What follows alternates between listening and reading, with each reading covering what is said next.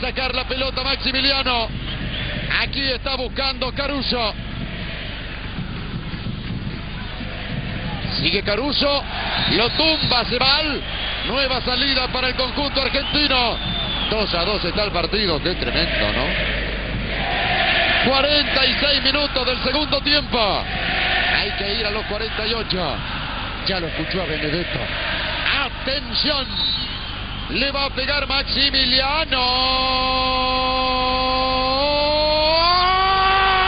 Zárate.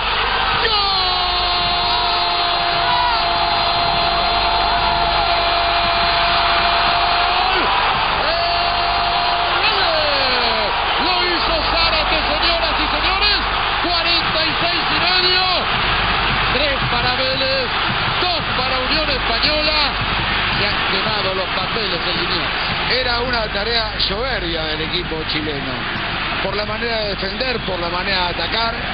Y en un minuto con dos centros, todo se derrumbó.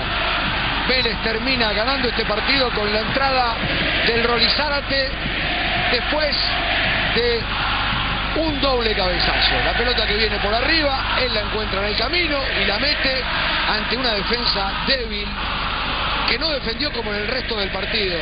En un minuto termina, después del cabezazo de Otamendi metido hacia adentro, ganando los Vélez el partido por 3 a 2.